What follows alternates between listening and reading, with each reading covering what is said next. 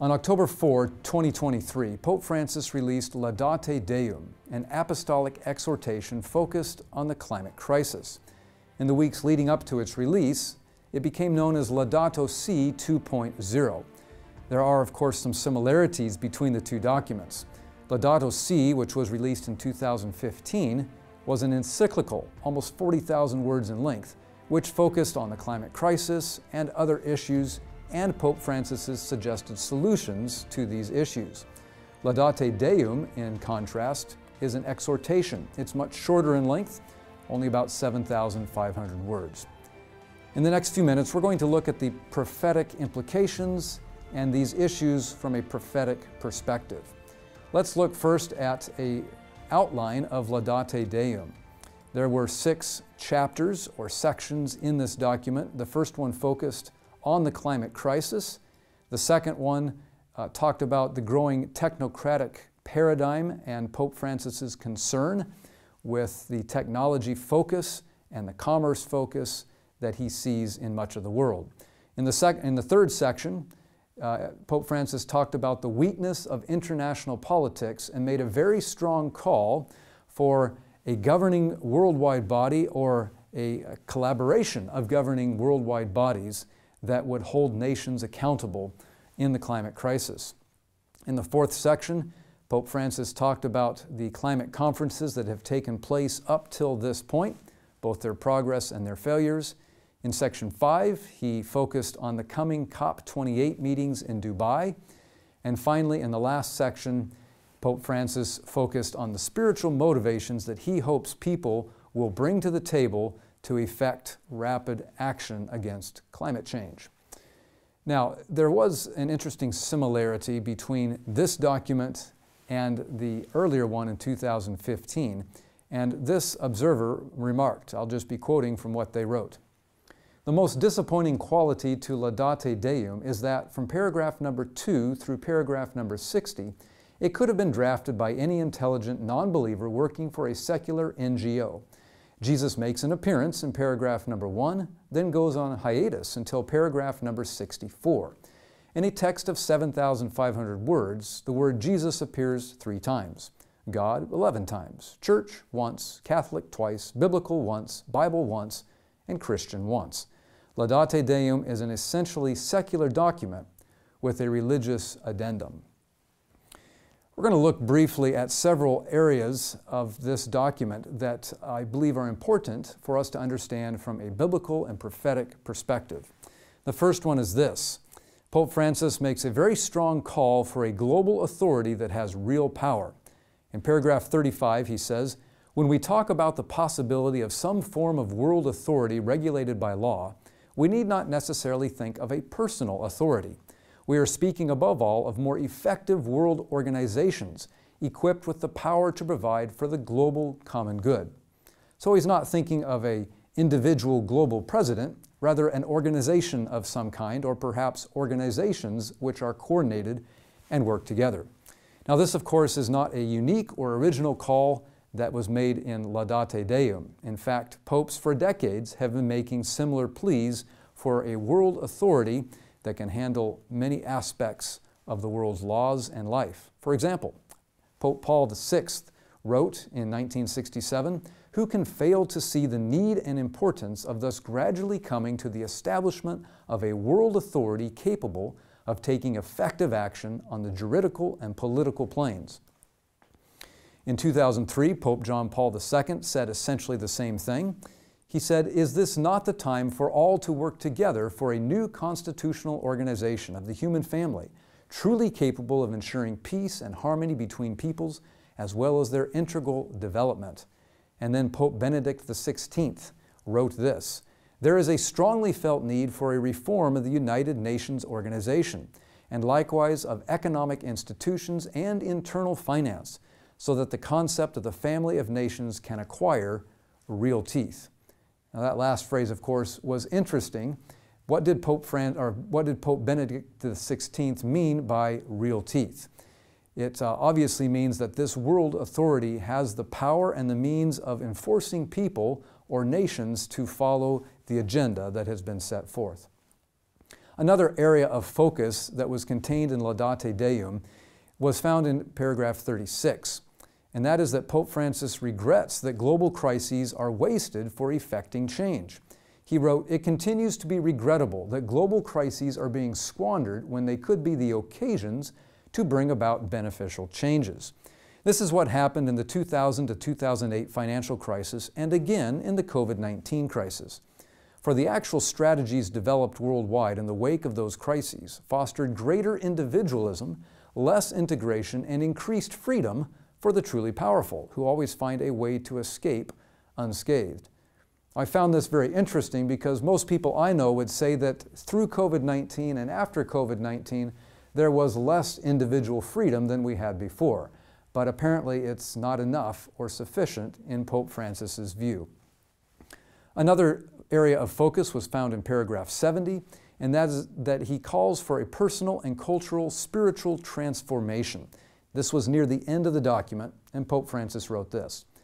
Yet what is most important is something less quantitative the need to realize that there are no lasting changes without cult- cultural changes, without a maturing of lifestyles and convictions within societies, and there are no cultural changes without personal changes.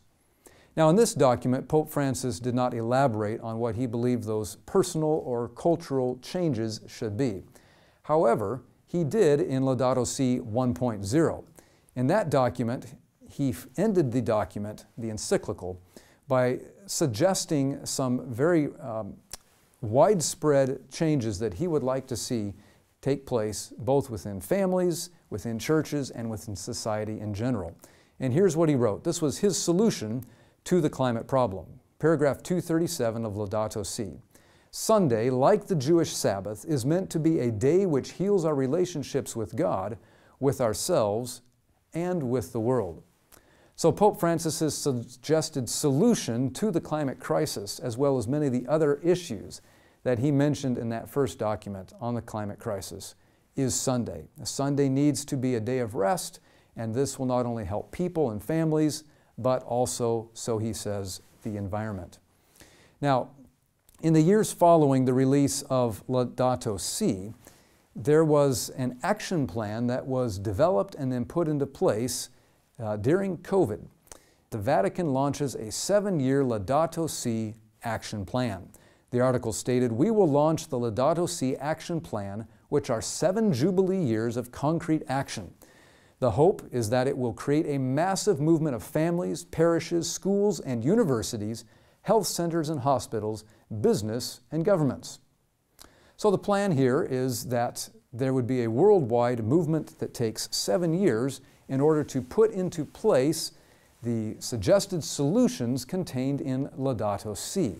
And presumably that would also include the required Sunday rest, which is so important in Pope Francis's view to combating the climate crisis. The seven years would end with a special year of Jubilee. The article goes on to state The reason for a seven year plan is based on the biblical significance of the number seven. Year one will be dedicated to planning through community building, resource sharing, and drafting local action plans. The next five years will be dedicated to concrete action, while the last year will be a sabbatical year dedicated to praise and thanking God. So, Laudate Deum, released in 2023, is part of the concrete action plans designed to put into effect the Laudato Si action plan or the suggested solutions to the climate crisis contained in Laudato Si. There is a seven year time frame which the Vatican envisions, with the last year, the seventh year, being a sabbatical year or a Sabbath year of rest. When was the action plan put in place? Well, this is an interesting article here from Earthbeat, and it uh, points out that originally the Laudato Si Action Platform was to be a part of a special Laudato Si year celebrated throughout 2020 to mark the fifth anniversary of the encyclical. But the global COVID 19 outbreak delayed those plans, and the year was marked from May 2020, five years after Francis completed the encyclical, through May 2021. So even though the Laudato Si Action Platform was not announced and officially began until 2021, the original plan was that it would start in the year 2020. Now, why is this important? It's a seven year plan ending in the year 2027. Pope Francis took office in the year 2013. So that would be 14 years after Pope Francis takes office that the Laudato Si agenda, including Sunday as a protected day of worship, is put into place. Now, what does this have to do with Bible prophecy? Again, we are looking at Laudate Deum, Laudato Si, and everything connected with this from a biblical prophetic perspective. At this point, let's turn to the Bible and take a look at what the Bible tells us. In Isaiah 46, verses 9 and 10, God explains why He alone is the Creator God.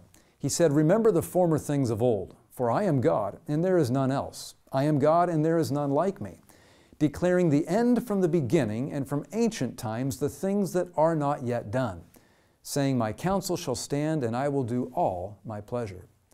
One of the amazing things about God, who is the author of the Bible, is that Bible history repeats itself, and the stories and the events that happened far in the past have been repeated and will be repeated in the future.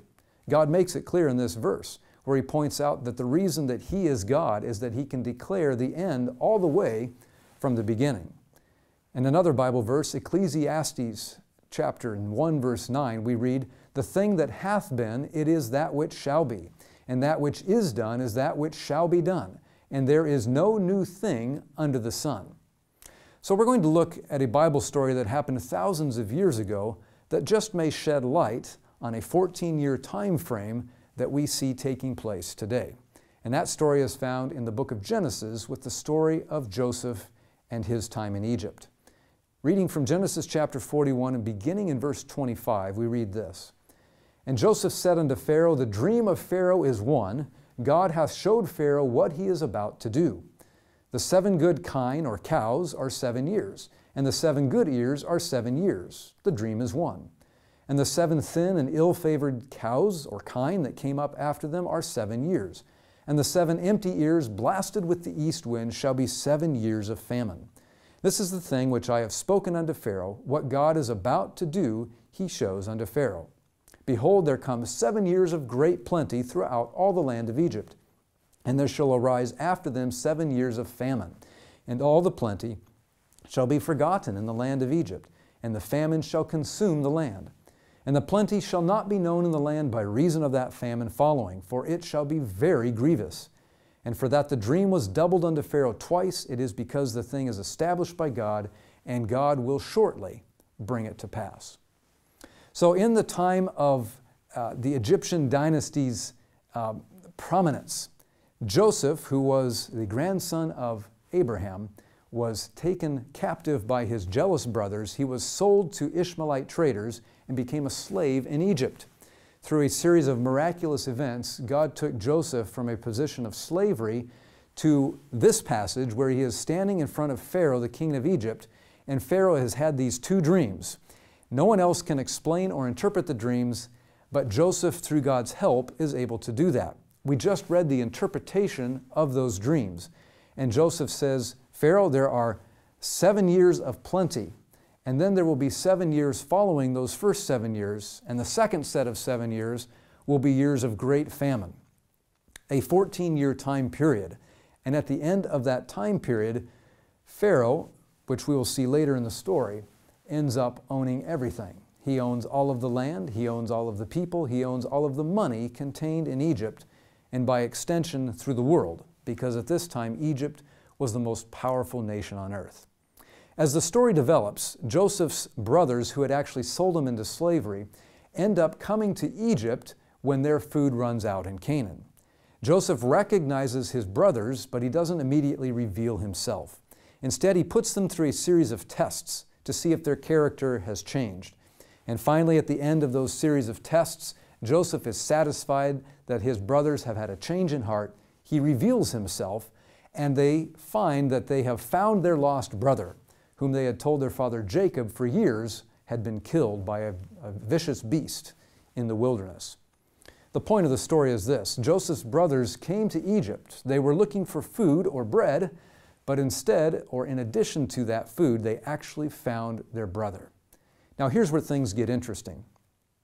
In a video several years ago, Pope Francis uh, referred to this story about Joseph and his brothers in Egypt, and he called himself or referred to himself as the long lost brother that his brothers needed to rediscover in a time of crisis. Here's the short video clip. Io la nostalgia che questa separazione finisca e ci dia la comunione. Io ho nostalgia di quell'abbraccio di qua, nel, nel quale parla la Sacra Scrittura, quando i fratelli di Giuseppe affamati sono andati a Egitto per comprare per poter mangiare. Ma andavano a comprare, avevano i soldi, ma non potevano mangiare i soldi. E lì hanno trovato qualcosa più del pasto, hanno trovato il fratello. So, just to make sure that we don't miss the point that Pope Francis is trying to make, the man who was filming this video, his name was Tony Palmer, he recorded another video where he explains exactly the message that Pope Francis is trying to give by calling himself the long lost brother. Here's that video. Pope Francis himself is the one who is asking us for full unity and full communion. What is striking is that he awakens us to the fact that the real communion is not the bread, but the brother. When he uses his story about the brothers of Joseph, with, because of their hunger, starvation in fact, they were then propelled to Egypt to go find bread to eat. But they found something more than bread. They found their brother. And this, Pope Francis, is saying, this is what we find in the true communion. We find each other. We find our brotherhood. We find our brother and our sister that we thought we'd lost. When we look for bread, which we think we need, we are going to find our brother, with, which is what we really need. We need to find that we are brothers and sisters again. So don't miss the message in these two videos. The message is that the true communion is not in the bread, but in the brother. And if we can come together and unite once again as Christians or even as all faiths in this world, perhaps around some crisis, we will have the true communion and humanity can move forward. The message is that the bread does not matter at all. But the question we have to ask ourselves is what does bread represent in the Bible? And there are some Bible verses that tell us exactly what bread represents. The first one is found here in, in John 6, verse 35. And Jesus said unto them, I am the bread of life. He that cometh to me shall never hunger, and he that believeth on me shall never thirst. According to Jesus, He Himself is the bread of life. And then there is a second meaning for what bread represents in the Bible, and that's found in Matthew 4, verse 4. That verse says, But he answered and said, This is Jesus speaking, It is written, Man shall not live by bread alone, but by every word that proceedeth out of the mouth of God. So, according to the Bible, bread represents Jesus Christ Himself, and it also represents the Bible, the Word of God. And these two uh, meanings of bread are extremely important for us to recognize today and in terms of what we are studying here. Remember that Pope Francis said that the bread does not matter, what really matters is the brother. If we can unite together, that's where the true answer is found. The answer is not found in the bread. Now let's look at a few more Bible verses. In Hebrews 9, verse 14, we read this How much more shall the blood of Christ, who through the eternal Spirit offered himself without spot to God, purge your conscience from dead works to serve the living God. One of the things that Jesus Christ does as uh, our Savior and our high priest in heaven is to cleanse our conscience from dead works to living works. In other words, when we accept Jesus as our Savior, when we ask for Him to begin changing us and making us like Him, He promises through the power of His blood and the power of His life and the power of the Holy Spirit to transform how we think and how we speak and how we act. This verse in Hebrews 9:14 refers to this transformation as God purging our conscience from dead works to serve the living God. And don't miss this point that according to the Bible, only one person has the right to purge or control your conscience. And that is the person who died for you. It is Jesus Christ through the power of his blood. That sacrifice gave him the right to control your conscience if you give him the right to. He will never do it by force. But if you ask him to, he will take control and he will purge our thoughts. Now, practically speaking, how does God do that? How does Jesus accomplish this? And the answer is found in another verse from Hebrews, and that's Hebrews 10, verse 16. This is the covenant that I will make with them after those days, saith the Lord. I will put my laws into their hearts, and in their minds will I write them. How does Jesus purge our conscience? He does it through taking the principles of His Word and especially the principles of His law, the Ten Commandments, and He writes them on our minds and our hearts. And as He does this through the Holy Spirit, we become changed and transformed. These two things, Jesus Christ, His blood, uh, what He does in our lives, and the Word of God, and especially the law of God, these two things constitute the bread. And we are being told, supposedly, that the bread does not matter. What matters is the brother. What matters is unity together, visible unity. A Catholic website called CatholicAnswers.com had this very interesting definition of the word fundamentalism. The belief that is first and foremost the defining characteristic of fundamentalists is their reliance on the Bible to the complete exclusion of any authority exercised by the Church. The second is their insistence on a faith in Christ as one's personal Savior and Lord. And this was an official statement. You can see at the top of the screen that this statement and the website and the article all uh, contained the imprimatur. This is the stamp of approval from the Bishop of San Diego. So, what is this statement saying? This statement is saying that in the Roman Catholic viewpoint, if you exercise faith in Jesus Christ, as your personal Savior and Lord, you are a fundamentalist. If you believe that the Bible contains the answers for your life, if you believe that the Bible is the ultimate authority in God's communication to man, then you are a fundamentalist. What is important for us to recognize is that these two things, Jesus Christ Himself and faith in Him, and secondly, the Word of God, these are the two definitions of bread that the Bible contains.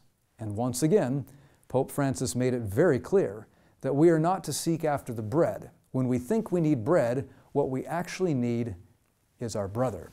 And he's referring to himself when he says that. Tony Palmer made that very clear. Now, Pope Francis gave a strong call to the United States Congress in 2015 when he spoke there, and he said, We must be especially attentive to every type of fundamentalism, whether religious or of any other kind. And so here is perhaps a shielded warning against the bread, right? Against those that would place their faith in Jesus Christ as a personal Savior and Lord, and those who accept the Bible and regard the Bible as the ultimate authority. Another fascinating and interesting statement put forth by the Holy See is contained in this document. This is titled The Church at the United Nations. And we read as a full member of the international community, the Holy See finds itself in a very peculiar situation because it is spiritual in nature. Its authority is religious and not political. The real and only realm of the Holy See is the realm of conscience. And friends, it is for this reason that the Protestant reformers for centuries understood and regarded this entity, the Roman Catholic Church, as the Babylon of the Apocalypse. To the reformers, Rome was the Babylon of the apocalypse, and the papal pontiff the predicted man of sin. Separation from the Church of Rome and from its pontifical head was regarded by them as a sacred duty. To them, separation from Rome was not separation from Christ, but from Antichrist. This was the principle upon which they began and prosecuted the work of the Reformation, the principle which directed and supported them and rendered them invincible.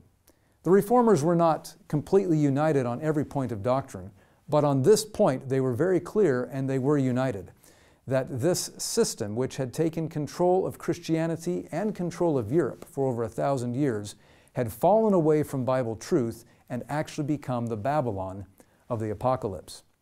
Now, this view, this understanding, was not shared just by the Protestant reformers. The founders of the United States of America also understood the danger that this uh, religious and political system posed to the type of government that they were trying to set up. John Adams wrote in a letter to Thomas Jefferson, I have long been decided in opinion that a free government and the Roman Catholic religion can never exist together in any nation or country. Liberty and popery cannot live together. Those were strong words from John Adams, but he was not alone in this opinion. Abraham Lincoln once said, I do not pretend to be a prophet, but though not a prophet, I see a very dark cloud on our horizon. And that dark cloud is coming from Rome. It is filled with tears of blood. It will rise and increase till its flanks will be torn by a flash of lightning, followed by a fearful peal of thunder. Then a cyclone such as the world has never seen will pass over this country, spreading ruin and desolation from north to south. Neither I nor you, but our children will see those things. Another person active during the founding years of the United States was the French General Marquis de Lafayette. He wrote, It is my opinion that if the liberties of this country, the United States of America, are destroyed, it will be by the subtlety of the Roman Catholic Jesuit priests, for they are the most crafty, dangerous enemies to civil and religious liberty.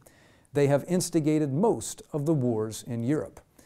Now, as the papacy looked at the type of government that was being set up in the United States, they expressed their concern as well with the freedom of conscience and the separation of church and state that was being formed in the United States. In 1864, Pope Pius IX condemned that erroneous opinion, most fatal in its effects on the Catholic Church and the salvation of souls, that liberty of conscience and worship is each man's personal right, which ought to be legally proclaimed and asserted in every rightly constituted society and that a right resides in the citizens to an absolute liberty, which should be restrained by no authority, whether ecclesiastical or civil, whereby they may be able openly and publicly to manifest and declare any of their ideas whatever, either by word of mouth, by the press, or in any other way. In other words, every freedom guaranteed in the First Amendment, in the Bill of Rights, Pope Pius IX did not agree with. He was very concerned that it would destroy the agenda and the power that the Catholic Church had exercised for over a thousand years in Europe.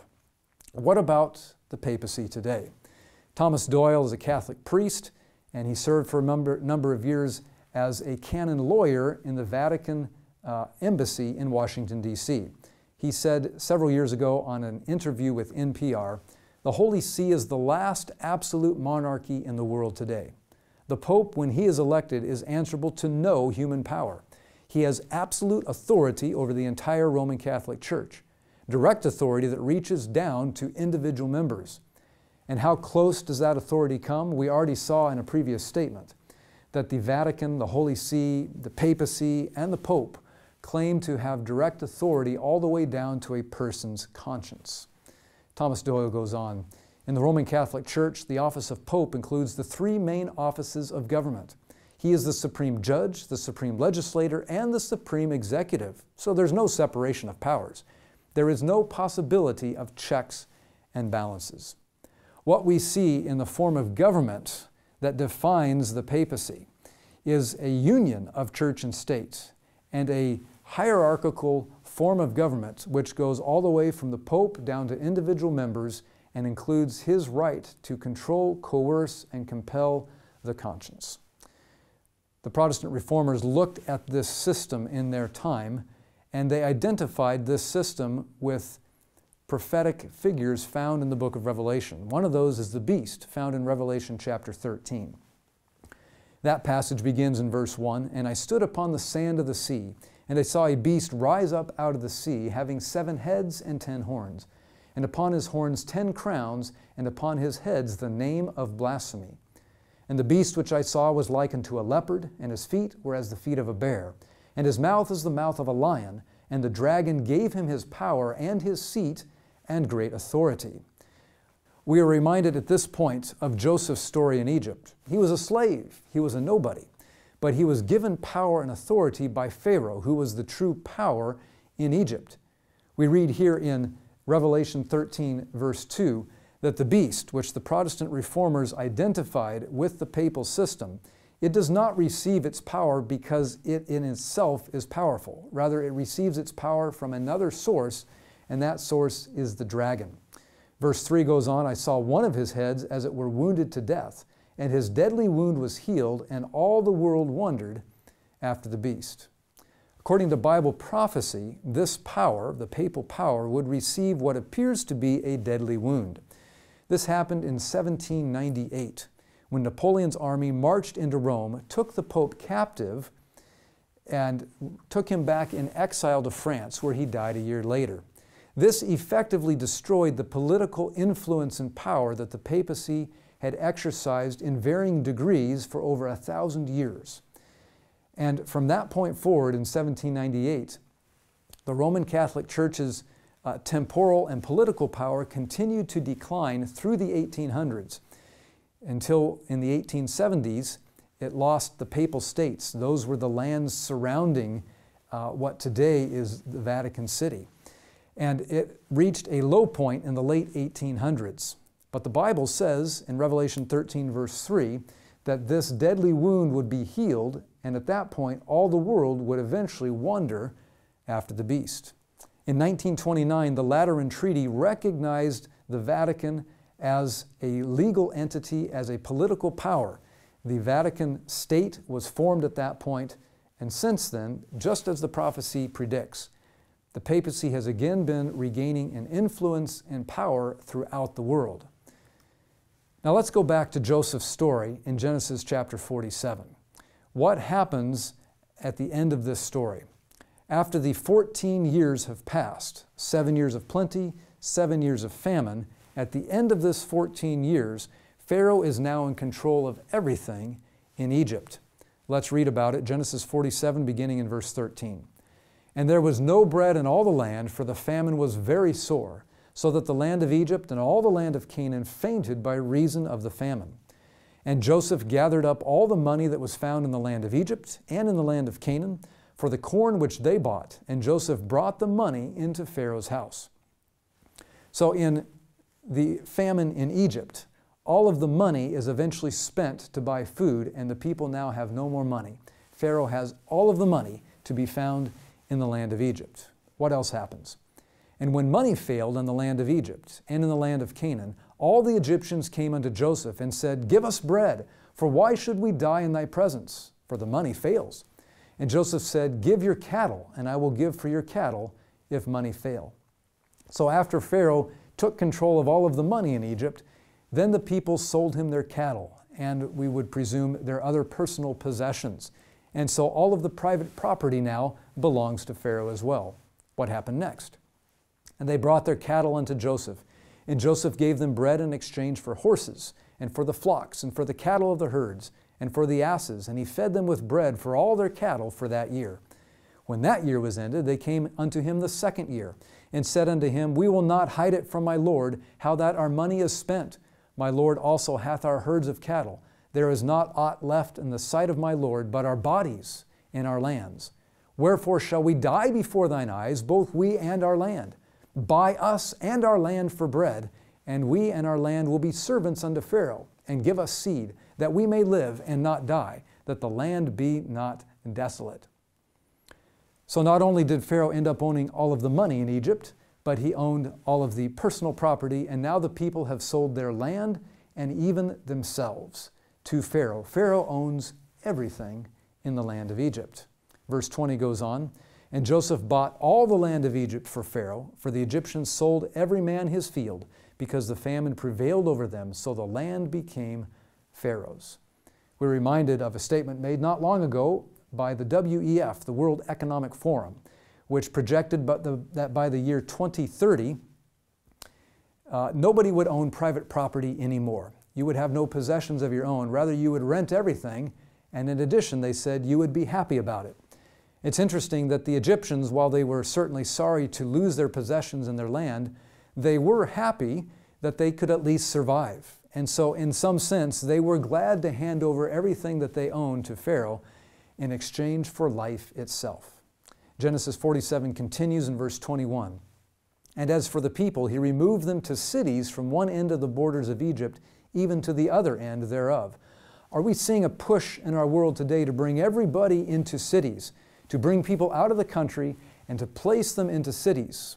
We are. And we have even seen talk about these 15 minute cities where you won't even have to own a vehicle. Everything will be within walking distance. You can walk and get everything you need within 15 minutes. Pharaoh will provide everything if you will give up your freedoms and move to the small or the large city.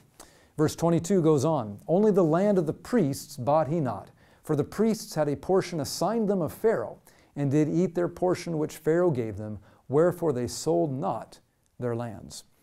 So in ancient Egypt, at the end of the 14 years, Pharaoh owned absolutely everything to be found in the land of Egypt, and he owned all the land itself except for the land that had been given to the priests.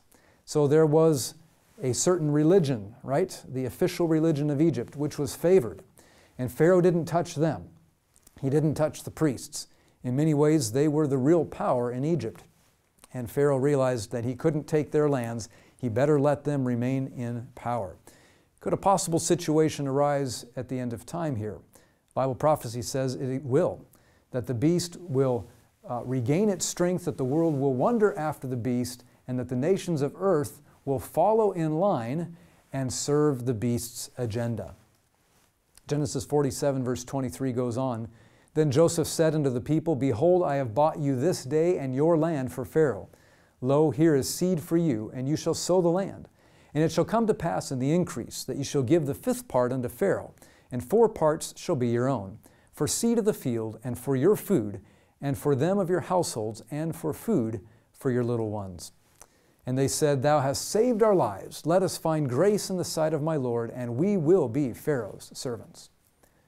So, what Egypt ended up with at the end of the 14 years was really a serfdom, which was the same structure, societal structure that existed in the Middle Ages when the papacy was in power in Europe.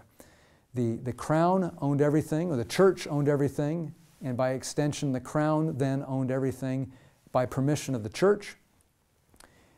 Next in line were the wealthy landlords and the um, aristocracy.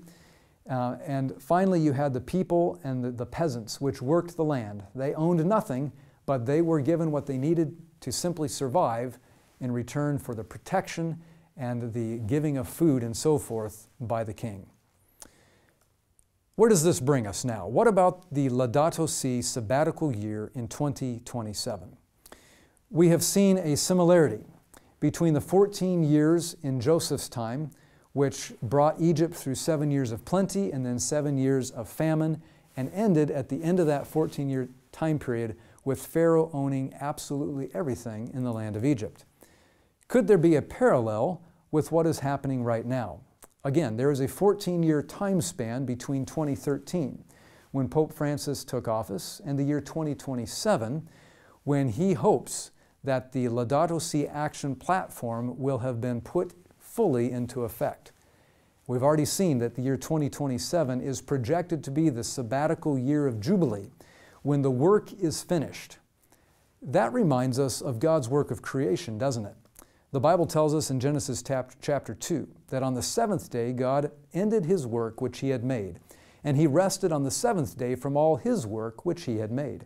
And God blessed the seventh day and sanctified it, because that in it he had rested from all his work which God created and made. According to the Bible, God spent six days uh, building and uh, creating this earth, and then he rested on the seventh day. That seventh day was a celebration a, a Sabbath to memorialize God's finished and completed work of creation. The Laudato Si Action Platform projects a, an entire year in 2027 of Sabbath rest and celebration because a work of recreating, or maybe we could say resetting the world, has been completed. Genesis 20, verses 8 through 11 say this Remember the Sabbath day to keep it holy. Six days shalt thou labor and do all thy work, but the seventh day is the Sabbath of the Lord thy God. In it thou shalt not do any work, now thou, nor thy son, nor thy daughter, thy manservant, nor thy maidservant, nor thy cattle, nor thy stranger that is within thy gates. Friends, the Bible tells us very clearly that the seventh day, which is still Saturday today, that is the day that God has blessed and made holy because it is the day that He rested on at the end of creation. That seventh day Sabbath was not made just for the Jews. Creation happened long, long before there was any Jews here on earth. And when Jesus came to earth, he said in Mark 2, verse 27, the Sabbath was made for man. He didn't say the Sabbath was made just for the Jews or just for the Armenians, or just for the Russians, or for any group of people. Instead, he said the Sabbath was made for humanity. And God made that clear by resting on the seventh day of creation. In the Ten Commandments, we find a reminder of that seventh day Sabbath. This is why that commandment begins with the word remember. God knew that we as humans would have a, a way of forgetting this commandment above all of the others. Why should we worship and remember God on this day, the seventh day of each week? The answer is given in Genesis 20, verse 11. For in six days the Lord made heaven and earth, the sea, and all that in them is, and he rested the seventh day. Wherefore the Lord blessed the Sabbath day and hallowed it. The fourth commandment, the one about the seventh day Sabbath, is the only commandment in the entire Bible that tells us when to worship God and why to worship God. Why do we worship Him? Because He is our Creator. When do we worship Him? On the seventh day of each week. Now, in the book of Revelation, chapter 14, there is a strong warning from God about something called the mark of the beast. It has to do with worship, it's connected with worshiping God as Creator. Here's what that verse says Revelation 14, verse 9. And the third angel followed them, saying with a loud voice, If any man worship the beast and his image, and receive his mark in his forehead or in his hand, a dire warning is given after this. You do not want to receive the mark of the beast, friends. But the Bible is clear. The mark of the beast involves the issue of worship. How do we worship God?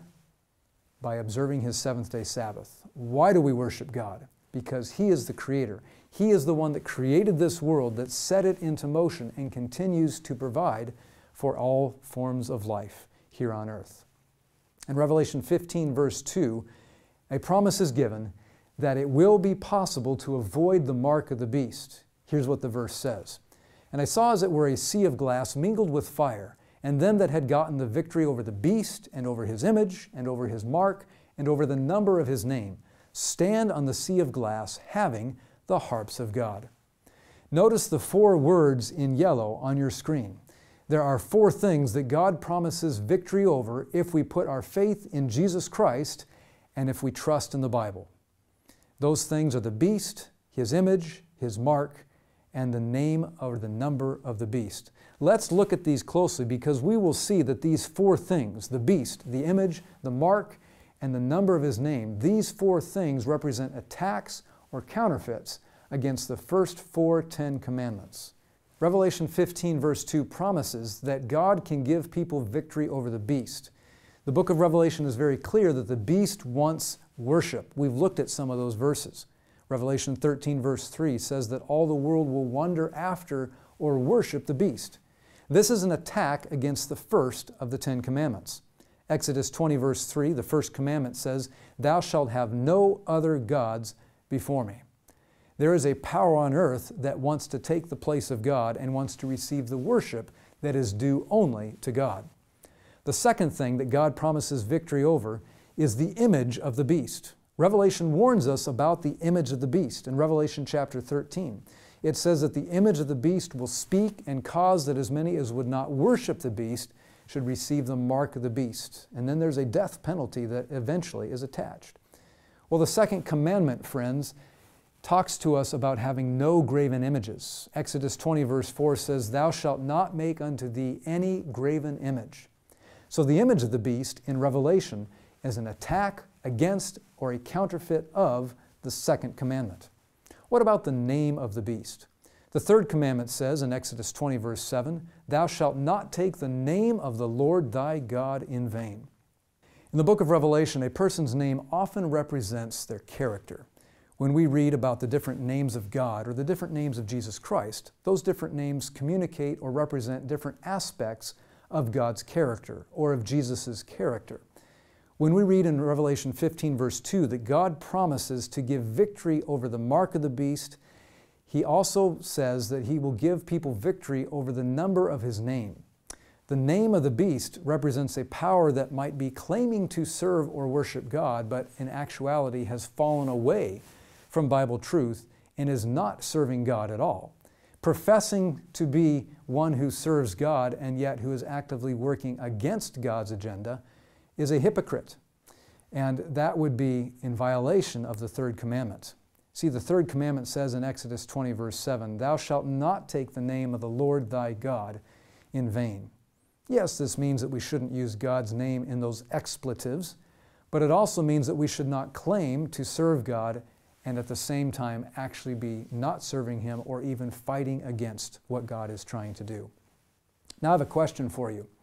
If the beast is an attack against commandment number one, and the image of the beast is an attack against commandment number two, and the name of the beast is an attack against commandment number three, then logic tells us that the mark of the beast must involve an attack against the fourth commandment. Again, the fourth commandment reads, Remember the Sabbath day to keep it holy.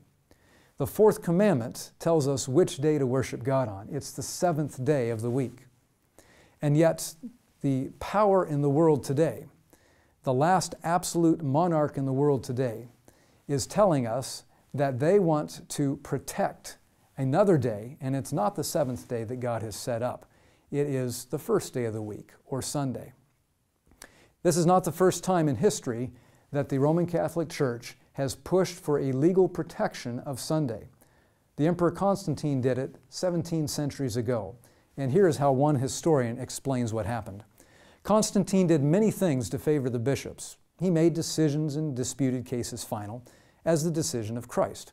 But in nothing that he did for them did he give them power over those who did not belong to the church, to compel them to act as though they did, except in the one thing of the Sunday law. In the Sunday law, power was given to the church to compel those who did not belong to the church and who were not subject to the jurisdiction of the church to obey the commands of the church. In the Sunday law, there was given to the church control of the civil power, so that by it she could compel those who did not belong to the church to act as though they did. The history of Constantine's time may be searched through and through and it will be found that in nothing did he give to the church any such power except in this one thing the Sunday law. Now, friends, the Bible tells us that history will repeat itself, and what happened in the past with Constantine's Sunday law will happen once again, the book of Revelation tells us. When laws are put in place to compel people's conscience to worship on a day that God has not sanctioned or ordained. This was the whole concern that the founders of the United States had as they looked across the ocean and saw how the papacy had governed Europe for over a thousand years. They consciously made the decision we will establish a form of government that separates church and state so that the conscience cannot be compelled. We have also seen that Pope Pius IX in the 1860s also realized that the form of government in the United States, this separation of church and state, the, the freedom of, of conscience and religion did not fit with the papal form of government. And so he wrote very strongly against the freedoms that have made this nation what it is uh, for over 250 years. So, where are we headed? Is it possible that we will again someday have laws compelling men to worship or act as though they were servants of the church, even though they're not? Will there again at some point be laws mandating people to worship on the first day of the week, will there be laws that give the church control of the civil power? Here's what Pope John Paul II wrote in 1998. He said, Therefore, also in the particular circumstances of our own time, Christians will naturally strive to ensure that civil legislation respects their duty to keep Sunday holy. Many people will ask, is the civil protection of Sunday worship really a big deal? After all, almost all Christians already worship on Sunday. Wouldn't we just be recognizing what Christians have been doing for centuries? I'll let the Catholic Church answer that question in their own published writings. The Church is above the Bible, and this transference of Sabbath observance from Saturday to Sunday is proof positive of that fact. Deny the authority of the Church, and you have no adequate or reasonable explanation or justification for the substitution of Sunday for Saturday. Another published writing says this The Catholic Church designated Sunday as the day for corporate worship and gets full credit or blame for the change. By worshiping on the seventh day of the week, people recognize God's authority as Creator. By worshiping on the first day of the week, or by keeping that day holy, sacred, or set apart, people recognize not God's authority, but the authority of men. The Bible says that all the world will wonder after the beast, that it will get on the papacy's agenda, that it will come on board with the Laudato Si action platform, and that that uh, agenda will reach its completion and fulfillment. the Bible doesn't tell us an exact year, but we have been given a proposed and hoped for time frame by Pope Francis. He wants it to happen by the year 2027, which would be 14 years after he came to power. A final thing that Pope Francis writes about in Laudate Deum, and that is a call for global citizens to pressure political changes. He writes in paragraph 38 the demands that rise up from below throughout the world, where activists from very different countries help and support one another, can end up pressuring the sources of power. It is to be hoped that this will happen with respect to the climate crisis. For this reason, I reiterate that unless citizens control political power, national, regional, and municipal, it will not be possible to control damage to the environment. So Pope Francis is calling for a groundswell movement in every nation of earth where ordinary citizens will pressure their local governments, their regional governments, their national governments to put in place the suggested solution to the climate crisis, which we saw in Laudato Si very clearly. Sunday is Pope Francis's solution to the Sunday crisis, as well as a number of other issues that he identifies in the world today. Friends, the Bible tells us in Revelation 13, verse 8, and all that dwell upon the earth shall worship him, whose names are not written in the book of life of the Lamb slain from the foundation of the world. The him in this verse is the beast power. And to worship not only means to bow down on your knee and worship in that form of worship, it also means to serve or to obey. And the Bible predicts that all the world will eventually and for a short time get on board with this agenda that there will be a groundswell of, of, of, of um, activism that pressures governments at all levels to put into place the beast's agenda. And all that dwell upon the earth shall worship him, whose names are not written in the book of life of the Lamb. You can have your name written in the Lamb's book of life by accepting Jesus Christ as your personal Savior and Lord. Jesus said, I am the bread. And when we accept Jesus as the bread of life, he promises to forgive us of our sins and to begin the work of transformation in our lives as He writes the principles of God's law on our minds and our hearts. We take the Bible, we look at it, and that is the Word, those are the principles that God wants to write on our minds and our hearts. Friends, we need the bread. Communion is important, the brothers are important, but the bread is absolutely essential. We cannot set the bread aside. We cannot set Jesus aside. We cannot set aside the Word of God for a visible unity because that visible unity will only last a very short time. And when Jesus comes back in the clouds of glory, that visible unity will shatter apart.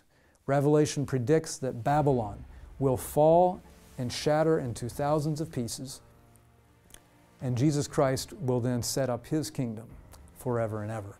How can you be part of Christ's kingdom? Here's what the Bible says in Revelation 14, verse 12. Here is the patience of the saints. Here are they that keep the commandments of God and the faith of Jesus. Friends, don't miss it. God is telling you how you can stand firm, how you can avoid the mark of the beast, how you cannot be deceived at the end of time. How do you do that? By placing your faith in Jesus Christ and by keeping the commandments of God, by valuing the bread even as you love the brother, but keeping that bread of Jesus and the Word of God as most important in your life. Let's pray right now. Father in heaven, I pray for every person that will watch or listen to this, that they will make that decision if they never have before, to accept you as their personal Savior, to uh, value the principles contained in the Word of God, and with your help, to live out what we read in the Bible.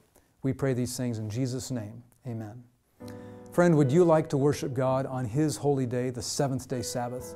This is the day that God set apart as holy and sacred at the end of creation week. It's the day that Jesus worshiped on when He was here on earth. If you would like to worship God with others on this holy day, I invite you to contact Pathway to Paradise Ministries by following the link to our website in the description of this video. We will reply to you after you fill out our contact page, and we will connect you with a local Seventh day Sabbath keeping church. God loves you. He sent His Son Jesus to die for you.